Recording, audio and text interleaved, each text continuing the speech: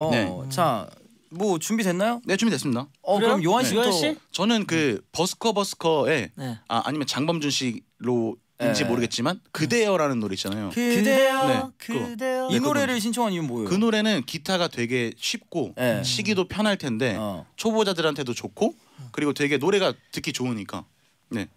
이거 벚꽃 엔딩 아니지 않아? 오늘은 왜 이렇게 더려요 이 거리를 벚꽃 엔딩 맞다요? 벚꽃 엔딩 맞네요. 제가 제목을 그럼 그대로 잘못 알았네요. 처음 시작이 이게 이렇게 시작. 가사가 제목을 이기는 경우가 몇 번 있는데 아, 네. 이 노래가 그, 그거죠. 아 네네네. 그렇구나. 딘딘 씨는 아 벚꽃 엔딩 맞네 저는요 음. 이거는 요한 씨가 인정해야 돼요 네네. 자전거 탄 풍경에 너에게 난 나에게 넌 이 노래가 제가 들었거든요 저 기타 가르쳐 주는 분이 또 요한 씨 후배인데 네네. 이 노래는 무조건 클래식이어서 이거는 무조건 기타 칠 때 무조건 쳐야 된다 아, 근데- 여기서 모든 그 주법을 다 할 수 있다. 이거는 시 피아노 칠 때 체르니 바 뭐야 그 바이엘 안 치는 거랑 비슷한 거다 이런 얘기를 했어요.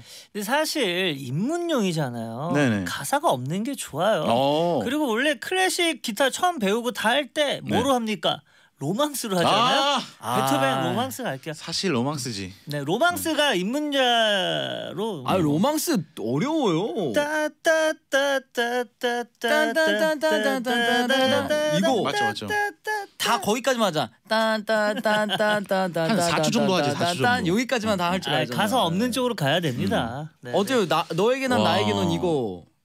나에게나 너에게는 이거는 어, 너에게나 나에게는 이거는 네. 근데 사실 이거 아주 요한 씨 얘기 좀 들어볼게요. 아, 아 예. 어, 야, 얘기하세요. 상현 형님이 말씀하신다는데 좀 예, 원래 들어볼게요. 이래. 아, 아. 어때요? 저뭐 이거 클래식이라고 생각을 해요. 네. 근데 이제 우리까지 클래식이지. 아 학생들이 이제 볼 땐 그치 모를 그치. 수 있지. 아니, 아빠 자- 노래지. 자탄풍이 요즘 많이 나가서 뽑히긴 힘들어. 아빠 노래지 아빠 네. 노래. 네.